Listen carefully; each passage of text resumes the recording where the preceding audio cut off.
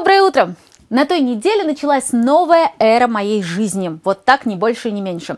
Дело в том, что я научилась сама печь хлеб. И не просто так ради самого факта, а поставила это дело на поток, и хлеб в магазине мы больше не покупаем. Знаете ли вы, что ингредиентов при приготовлении хлеба требуется минимум? Классический хлеб – это мука, вода, дрожжи или закваска, соль и сахар по вкусу, и все – ну и, пожалуй, еще один немаловажный ингредиент – любовь.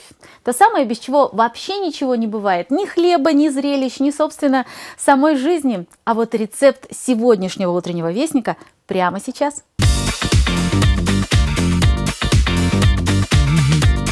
Оплату за проезд в Перми подняли с 10 января. Стоит ли наш общественный транспорт 33 рублей? Мы спросили пермяков. Крещенских морозов не будет. На этой неделе синоптики говорят, что температура воздуха будет на 5-6 градусов выше климатической нормы. Не заметить невозможно. Увлечение граффити, возникшее на почве молодежного хулиганства, теперь стало частью мирового художественного наследия, а также украшением нашей повседневной жизни. Как старую вещь превратить в новую? В одной из пермских мастерских вторую жизнь дают даже 150-летние мебели.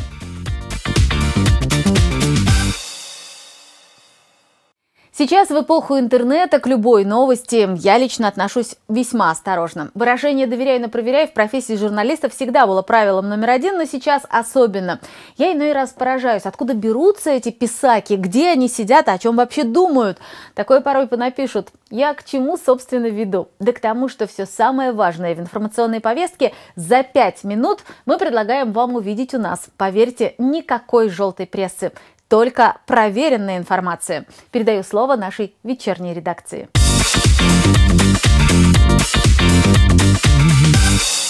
На данный момент в Прикамье официально зарегистрировано 6 случаев заражения омикрон-штаммом COVID-19, однако уже к концу месяца в регионе ждут всплеск. По оценкам Краевого Минздрава, количество заболевших омикроном превысит предыдущий уровень заболеваемости той же дельтой минимум в 4 раза.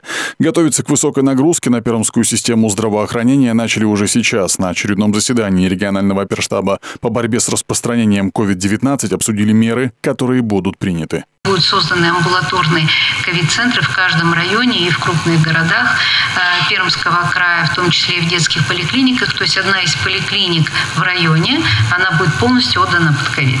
Там будет э, сразу проводиться экспресс-диагностика, выдача лекарств, возможность осмотра и возможность проведения рентгенологического обследования. Кроме этого, в красных зонах региона готовы развернуть дополнительно 7,5 тысяч коек, а при необходимости еще тысячу сверху. К началу февраля планируется увеличить и мощности выездных бригад. Количество неотложных вырастет до 800. Бригад скорой помощи станет на 40 больше. Также сейчас прорабатывается вариант, когда бригада скорой помощи прямо на выезде сможет проводить экспресс-тестирование и выдавать необходимые для лечения лекарства. По линии Роспотребнадзора прорабатывается и вопрос увеличения мощности диагностических лабораторий. Всего э, мы отправляем наш край в два института. Это, это Нижегородский институт и Саратовский институт Роспотребнадзора. Мы будем примерно отправлять еженедельно 200-300 проб. До этого мы отправляли 10-15 проб в институты. В первую очередь институты э, исследуют тех, кто прилетел из-за границы. 271 проба в работе, и после окончания мы поймем, я думаю, на этой неделе мы поймем, что циркулирует в регионе. Станет ли омикрон последним штаммом, пока точно не ясно. Эпидемиологи рассматривают два сценария развития событий. Первый – при уровне вакцинации населения не ниже 70% мы будем невосприимчивы к новому штамму. При этом летальность будет снижаться. Специалисты предполагают, что при таком раскладе омикрон завершит пандемию. Второй сценарий не такой радужный и говорит о том, что при вакцинации населения в 50% вырастет доля тяжелых клинических форм заболевания, а также будут созданы условия для дальнейших мутаций вируса. В ближайшие пару недель эта угроза будет здесь. И от того, как мы будем вместе с вами вакцинироваться, от того, как все, э, без исключения, жители Пермского края будут, в общем-то, нести гражданскую ответственность перед собой и перед своими окружающими, будет зависеть успех нашей совместной работы. На сегодняшний день цифры суточного прироста уже говорят о резком скачке. За прошедшие 24 часа в Пермском крае подтверждено 448 новых случаев COVID-19. Прикамье транспортный прокурор потребовал очистить реки края от трех десятков бесхозяйных затонувших судов. Суд иск удовлетворил. Как сообщает Уральская транспортная прокуратура, в реках Кама, Вишера, Косева, Сылва, Чусовая находится 30 затонувших судов, их частей или механизмов, владельцы которых не установлены или ликвидированы. Затопленные суда негативно влияют на экологическое состояние рек и безопасность движения, сообщили в ведомстве.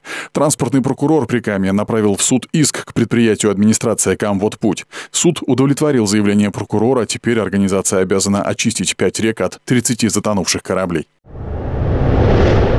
Пермь, как и многие другие современные российские города, переходит на бескондукторную оплату проезда. С 10 января в городе действует новое тарифное меню для пассажиров общественного транспорта. За прошедшую неделю более полумиллиона пермяков воспользовались транспортными картами. Правда, некоторые столкнулись с трудностями. Почему может не сработать валидатор и что делать, рассказывают в департаменте транспорта. При пополнении проездного надо а, понимать, что все валидаторы в транспорте, они обновляются не мгновенно. Это занимает определенное время. То есть до 24 часов может занимать а, поступление информации о пополнении проездного в какое-то отдельное транспортное средство. Соответственно, при планировании поезда надо просто учитывать этот фактор. Если карта продолжает оставаться в стоп-листе, несмотря на то, что прошли сутки после оплаты, необходимо сообщить об этом перевозчику на специальном сайте или в департаменте транспорта по адресу электронной почты dt собака городперм.ру. Если нет звуковых сигналов и валидатор даже не реагирует на проездной, вероятнее всего неисправна сама карта. Необходимо обратиться в центральное отделение почта банка для того, чтобы ее проверить. В социальных сетях на прошлой неделе было не по-зимнему жарко. Тема стоимости проезда в городском общественном транспорте была чуть ли не темой номер один. И вот тут я подумала, стоимость до 33 рублей, значит, нам подымают, а мнение пермяков даже и не спрашивают. Мы вот, например, спросили, и вот что люди говорят.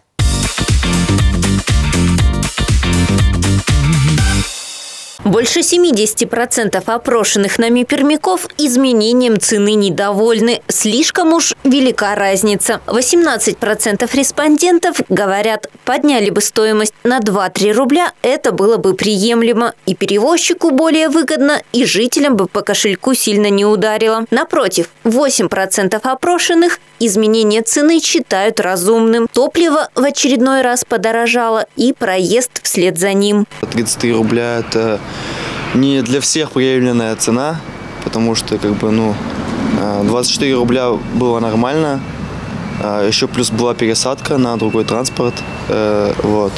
А сейчас пересадка стала стоить 17 рублей, то не всегда, только по карте или по проездному билету.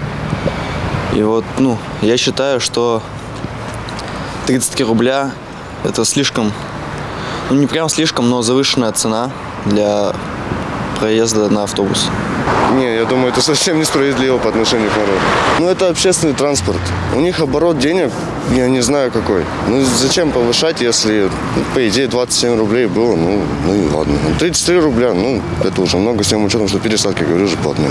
Это ладно, кто от точки А в точку Б ездит, а кому пересадки надо делать там по два раза в день. Как бы некоторым это невыгодно. Мне кажется, нормально каждый год добавляют, а я никакого не, не беру никогда проездной, ничего, у нас автобус не ходит. Мы ездим на свои деньги. Ну, нормально, мне кажется. Если они все ездят на дизеле, дизель-то под 60 рублей уже, куда это годится? Свой собственный завод, а цены, по-моему, самые дорогие в Пермском крае по сравнению с другими рядом областями. Мы вообще-то из Березняков, конечно, не местные. Вот первый раз мы поедем за 33 рубля. Ну, для нашего э, такого средней нашей зарплаты, мне кажется, дороговато. Вот сейчас мы вдвоем поедем, это надо 66 рублей нам заплатить. Дочка на учебу приехала. Дороговато, я думаю.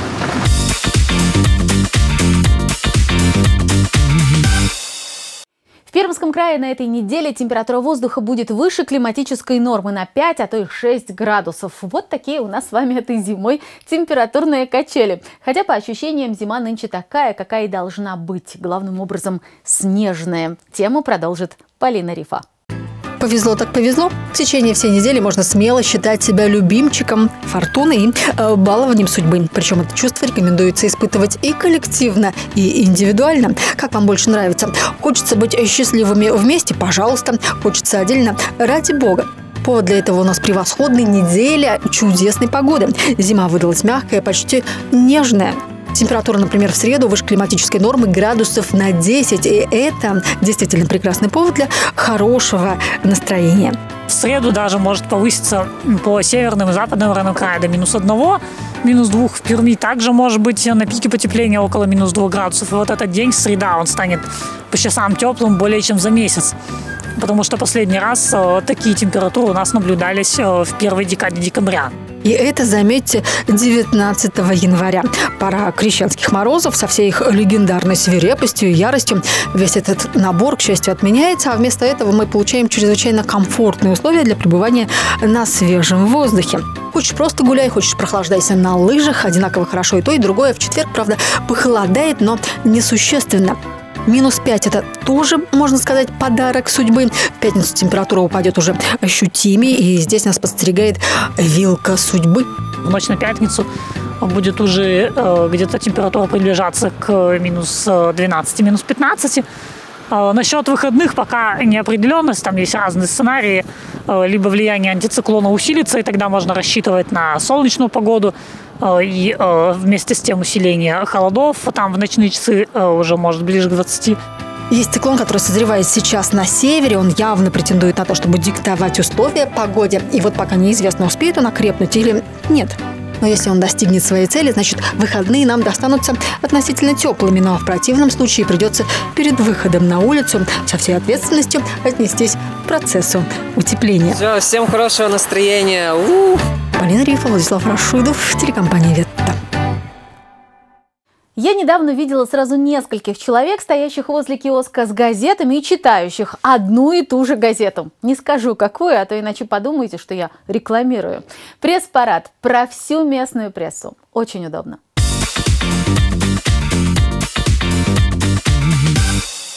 Экс-министр территориальной безопасности Андрей Ковтун за мошенничество в крупном размере приговорен к трем годам лишения свободы условно, передает коммерсант Прикамье. Кроме того, бывший чиновник должен выплатить штраф в размере 50 тысяч рублей и он же лишен классного чина госслужбы. По данным следствия, в 2017 году обвиняемый эффективно устроил на работу в 23-й отряд противопожарной службы егеря Вячеслава Верещагина. Фактически на работу Верещагин не ходил, но зарплату получал.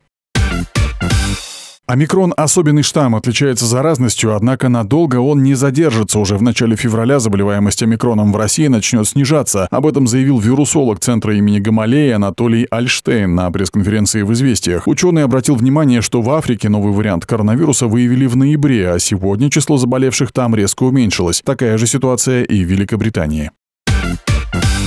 На портале госуслуг появился новый сервис уведомления по трудовым мигрантам. Об этом сообщили в пресс-службе Минцифры. Отмечается, что с помощью сервиса можно отправлять в подразделение МВД электронные уведомления о заключении и расторжении трудового договора с иностранными гражданами, об обязательствах по выплате зарплаты иностранным гражданам, являющимся высококвалифицированными специалистами. В Минцифры отметили, что сейчас в МВД ежегодно поступает около трех миллионов уведомлений.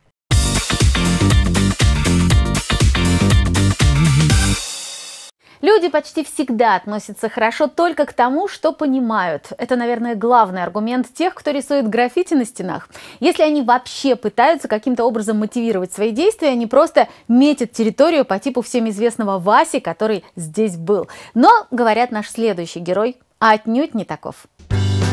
Элементы культурно-исторического наследия нашего края теперь красуются на домах 44 и 46 по улице Чкалова. На одном здании изображена фигура пермского звериного стиля «Трехглавая птица», как символ божественного начала, роста и устремления вверх и олицетворяет стихию воздуха. На втором доме рисунок аммонита. Он как отсылка к Пермскому морю и периоду в геологии. В изображениях пермский художник Алексей Беста совместил несколько несколько техник. Я еще вообще занимаюсь татуировкой, и тут вот все это объединено. Как бы именно рисование на стене это от граффити, а вот все, весь рисунок почти из точечек, вот это уже из татуировочной техники. И вот тут все вместе объединено. Работа над созданием граффити длилась порядка 20 дней, практически весь декабрь прошлого года. Помогал Алексею воплотить в реальность работу таких масштабов в короткий срок коллега, художник Андрей Катаев. К слову, традиции уличного монументально-декоративного искусства, популярные в прошлом веке, вновь набирают обороты. Может, это напоминает, потому что я цвета выбирал специально, чтобы оно не выделялись, как бы, чтобы оно в окружение влилось. И поэтому, может, немного похоже, потому что они такие вот как раз той эпохи немного цвета. Не яркие, тускленькие.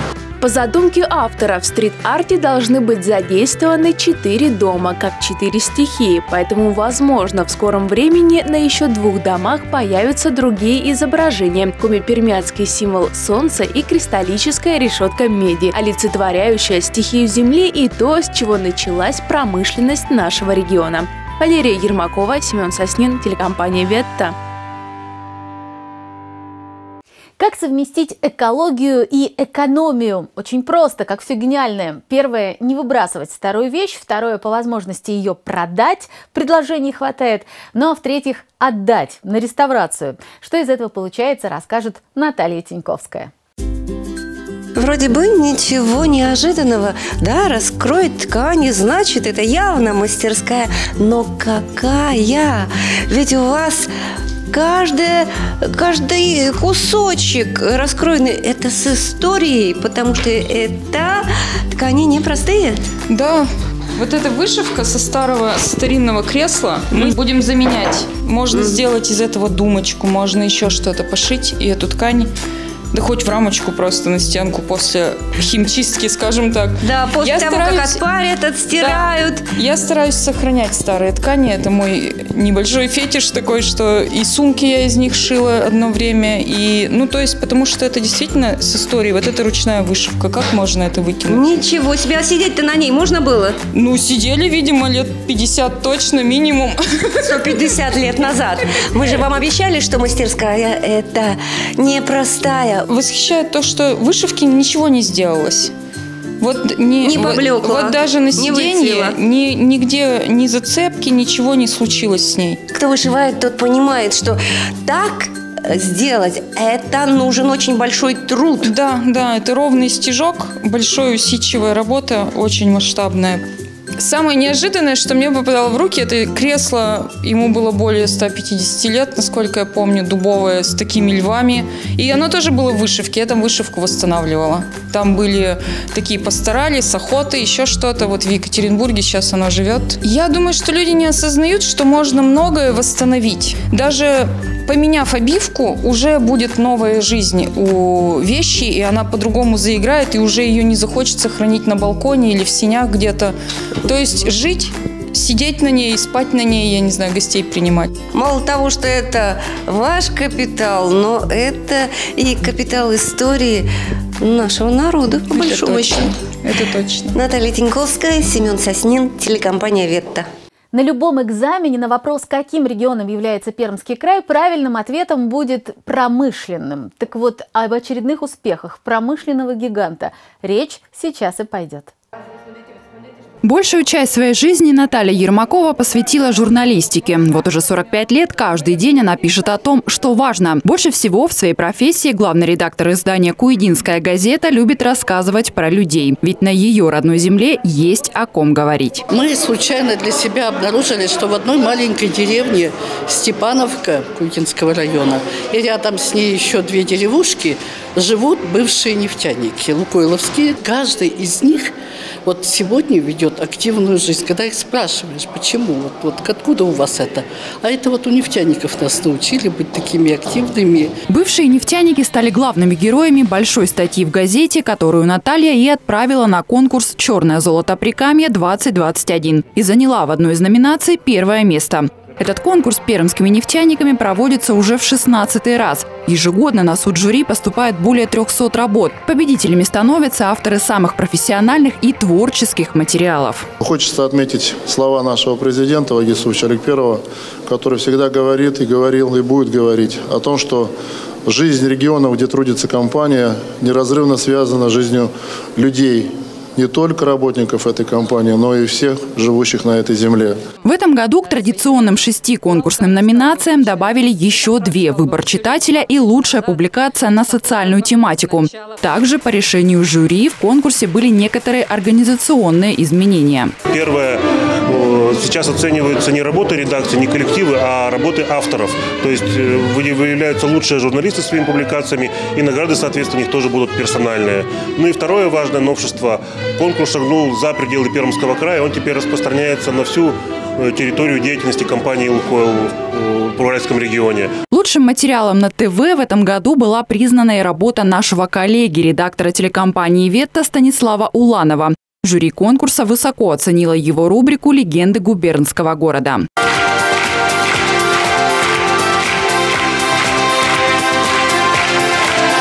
Чествование победителей конкурса пермских нефтяников традиционно было приурочено ко Дню печати и проводилось совместно с еще тремя церемониями. Награды получили лауреаты конкурсов имени Аркадия Гайдара, профсоюзного журналиста Владимира Шитова и известной пермской журналистки Татьяны Черновой. Екатерина Рухтина, Семен Соснин, телекомпания «Ветта». Несмотря на нынешний век рационализма и материализма, многие люди по-прежнему верят в сверхъестественное. Кого-то пугают вещи сны, кто-то подкармливает домового, а некоторые вовсе считают, что феи настоящие. Так или иначе, наука пока не может объяснить всего в нашей Вселенной, поэтому после некоторых ситуаций действительно единственное, что остается, это начать верить в мистику. У нас тут для вас кое-что интересненькое подготовлено. Передаю слово Антону Шибанову.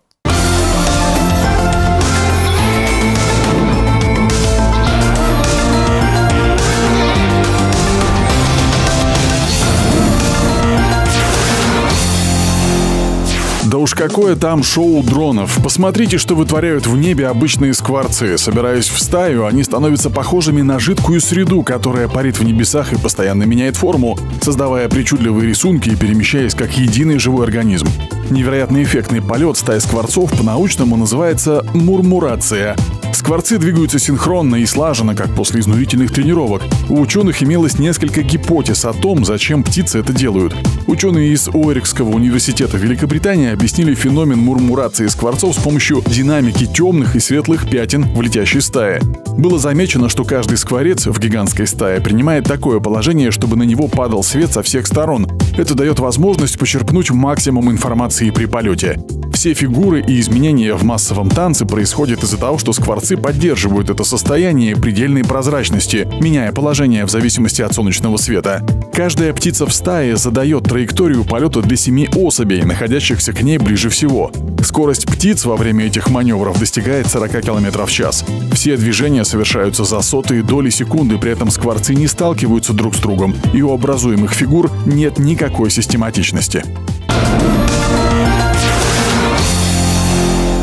Бездна Челленджера – это самая глубокая точка поверхности Земли. Расположена в западной части Тихого океана в Марианской впадине. Данные относительно ее глубины разнятся. В одних источниках указывается глубина в 10 километров, в других – более 11. Одно известно точно – глубже этого места на планете нет ничего, ну или его еще пока не обнаружили.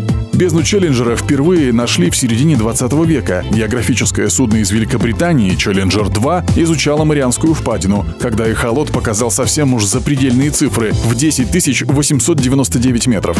Позднее советское исследовательское судно «Витязь» показало данные в 11 022 метра. 23 января 1960-го Дон Уолш и Жак Пикар совершили погружение на батискафе Триест. Они стали первыми людьми, которым удалось опуститься до таких мрачных глубин.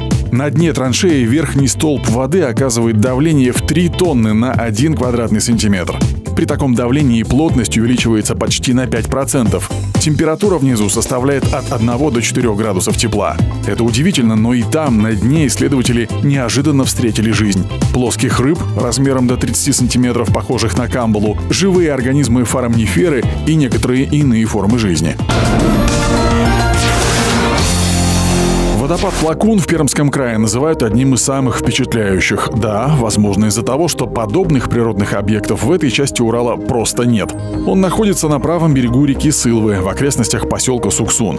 Конечно, есть и легенда, которая объясняет его происхождение. Местную девушку-красавицу разлучили с любимым, хотели выдать замуж за злого богача. Девушку вариант не устроил, тогда ее насильно заточили в горные недра. Освободится она только тогда, когда ей разрешат быть со своим возлюбленным. Вот и сидит в горе красавица и непрерывно льет слезы. Ну слез, похоже, у нее много, потому что расход воды составляет здесь порядка 15 литров в минуту.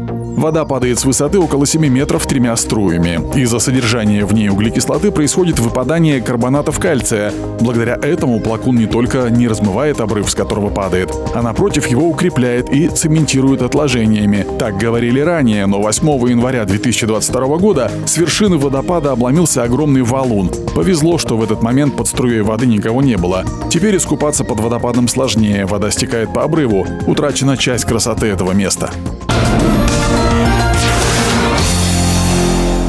Вупертальская подвесная дорога – это одна из старейших подобных дорог. Она представляет собой монорельсовую двухколейную подвесную систему на эстакадах общей длиной более 13 километров, из которых 10 километров пути проходят над руслом реки Вупер на высоте примерно 12 метров. Остальные почти 3,5 километра проложены прямо над улицей на высоте примерно 8 метров. Один маршрут имеет 20 остановок. Максимальная скорость поездов дороги 60 км в час. Но в наше время вся система модернизирована, но туристам предлагают прокатиться на настоящем Кайзервагене, поезде, на котором перевозили императора в 1900 году.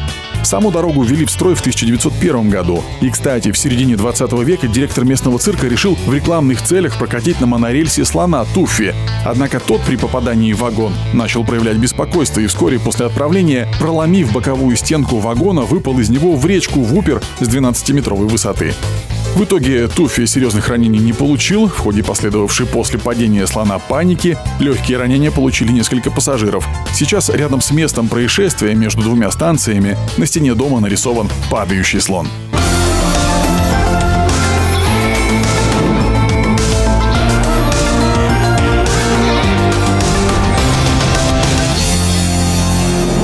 Средств спасению мира было названо множество. И любовь, и красота, и доброта. Вот о тех, кто, собственно, получается, и спасает этот мир, расскажет Полина Рифа.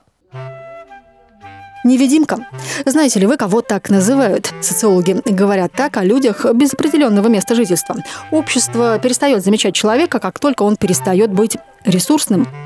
Такие же невидимки – бездомные животные. Несоциализированный сильный зверь небезопасен, поэтому муниципальные приюты в основном рассчитаны на собак. Туда не принимают кошек, а если они их туда берут, то там нет условий содержания помещение не отапливается, нет корма и так далее. То есть государство не решает у нас в Перми эту проблему. Так что с котами дело плохо. Существа они, по большому счету, безобидны, от того и дела до них никому нет. Кошки умирают, они умирают на улице, они не созданы для зимы. Частные приюты. За последние 10 лет их в нашем городе стало 4. Единственный оплот брошенных котиков, жизнь которых идеальна только в соцсетях. Количество приютов явно недостаточно, но все же это лучше, чем ничего. Марат – один из питомцев счастливого хвоста. Он был обычным домашним любимцем, однажды потерялся. Уличная жизнь его изрядно потрепала. Ему повезло попасть в добрые руки, а вскоре нашелся и хозяин – Кошки, они никого не волнуют. Они сидят в подвалах, они рожают, умирают, ну и как-то они же людей-то особо не трогают. А если что, просто вызывают службу, отра... службу, господи, как там она называется-то? Ну, в общем, травят их вместе и с тараканами, и с блохами, и со всем. История маслинки еще драматичнее. Она родилась на ферме, куда некоторые подкидывают животных, полагая, что их там ждут санаторно-курортные условия. Хозяин узнал, что кот болен, что ему требуется лечение, что он слепой и, ну, полуслепой, так скажем. Но он отказался от кота. Ну, вернее, он мне ничего не сказал, он просто перестал звонить. Такие коты, как Маслинка и Марат, вряд ли могут рассчитывать на нового хозяина, поэтому они и доживают свой век в хосписе приюта. Целую комнату в своем доме и отвела под домашний лазарет. Несколько раз вывозили с местной фермы кошечек, в том числе попала маслинка. Маслинка неизлечимо больна. Из-за того, что она с рождения болела инфекцией, у нее полностью э, разрушена носовая перегородка. Можно сколько угодно ждать, когда наша ответственность за животных вырастет до уровня европейской, или ждать, когда государство решит задачу. Но главное, чтобы проблема не выпадала из зоны видимости. Только в этом случае ее можно свести к минимуму. Ну а пока каждый из нас способен ее решить без героических усилий на элементарном уровне. Что самое главное, что сейчас нужно, это стерилизовать своих домашних кошек чтобы перестала расти численность популяции бездомных котов, потому что бездомные коты – это домашние коты, бывшие домашние. Полина Рифа, Владислав Рашидов, телекомпания «Ветта». Мои дети сразу после Нового года активно начали ждать лета. Ну, правильно, Дед Мороз уже подарил все, что у него было, так что зима уходи. Стали вспоминать каждый день, как купались летом в реке, как устраивали пикники на травке, как собирали ягоды на даче. Я вдруг тоже почувствовала, что уже устаю от этой бесконечной снежной пустыни, от того, что все вокруг какое-то белое, от того, что надевать приходится сто одежек и им все с застежками. Что ж, могу только сказать, что лето Обязательно будет. Лед растает, любящее сердце растопит чары снежной королевы, трава будет зеленой, а солнце жарким. И мы опять будем ждать Нового года. Это и называется жизнь. Хорошего дня!